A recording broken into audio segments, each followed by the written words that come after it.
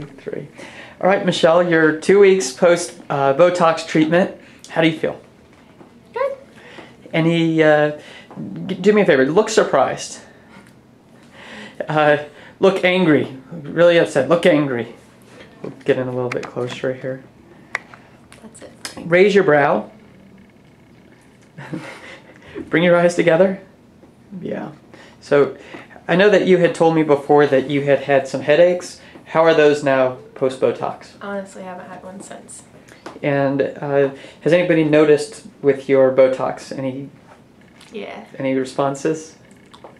No, not really. Just nothing bad. Everyone said it looks good, so.